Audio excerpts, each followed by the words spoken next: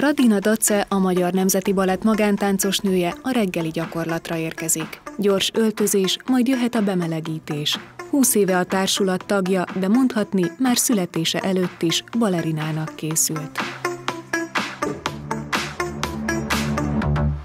De az anyukám nagyon szeretett balettet. És amikor én Podzakában voltam, akkor nézett hattyúk tavát, és így gondolkozott, ha lenne kislányom, mert ugye akkoriban meg nem lehetett tudni kislány vagy kislány, vagy ki fiú lesz, akkor ez gondolom, hogy lenne kislányom, és úgy tudna táncolni, ez annyira gyönyörű, mert ezek a nők olyan mások, olyan tartások van, meg járások, meg mindenki törékeny, meg szép. Megálmodta. Én ott talán, talán ott születtem balerinának. Szülei többféle külön órára is beiratták, azonban nehezen tudott egy helyben maradni, helyette folyton táncolni akart. A néptánc után következett a balett, amiben hamar önmagára talált. Emlékszem, hogy én gyerekkoromban úgy feküdtem le, hogy tudtam, hogy holnap reggel megyek iskolába, mert nekem van egy balettórám, ahol spiccipőt felhúzhatok, vagy balettszoknyát, vagy később tütüt felpróbálhatok, vagy olyan és amolyan lépést fognak tanítani, vagy valamire elkezdtünk készülődni. Nem tudtam aludni, mennyire imádva vártam ezt a pillanatot. 20 évesen szülővárosából a lettországi Rigából költözött Magyarországra. Azonban nem a szakma, hanem a szerelem terelte külföldre.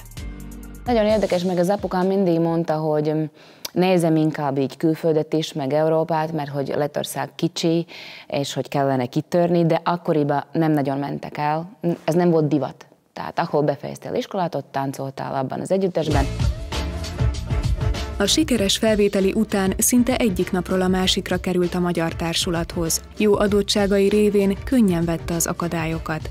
Szerencsére mindig a megfelelő időben találtak rá a hozzáillő szerepek. Táncolt a Don Quixote-ban vagy a Kopéliában, ahol Solymosi Tamás volt a partnere. Pozitívan, nyitottan, jó indulattal ezt a szakmát lehet csinálni, és ez visz előre, szerintem élet visszaadja, hogyha, hogyha nyitottan szépen az előtte, akkor visszakapsz lehetőségeket.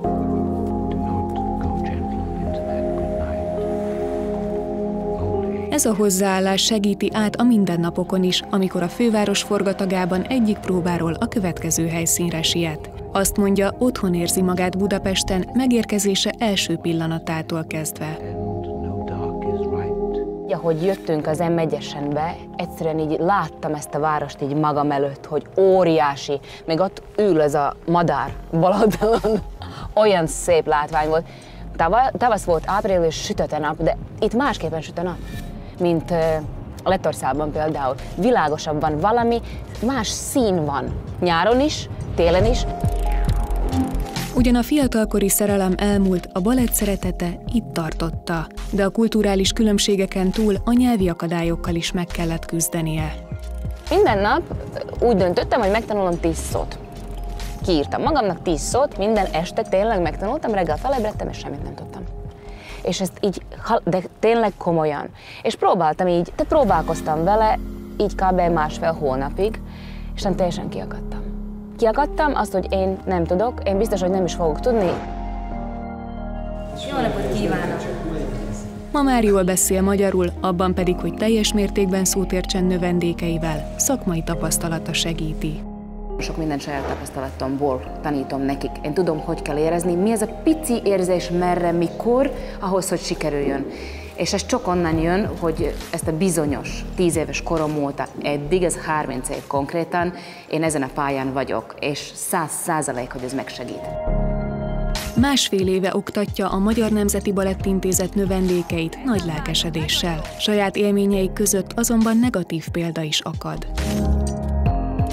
Nekem az első balettmesternem, ő egy orosz balettmesternő volt, és természetesen ő jobban szerette a saját orosz lányokat, és próbált így eltolni, nem tanítani, visszautasítani, nagyon gyakran megalázni. Tehát így nekem iszonyatosan kellett átküzdeni. Én sokáig nem tudtam, hogy én jó vagyok. A legjobb osztályzat megszerzése után viszont már nem volt kérdés, hogy minden adottsága megvan ahhoz, hogy táncos legyen, aki később átadhatja tudását. Ami pedig a legfontosabb, hogy elég időt töltsön férjével és kislányával. A család jelenti számára ugyanis a nyugalmat és a biztonságot. hogyha nincsen előadás, de ez most már ritkában van, tehát általában vasárnap a szabad nap, és akkor vasárnap az az egy nap, amikor úgy próbálunk közösen valamit csinálni.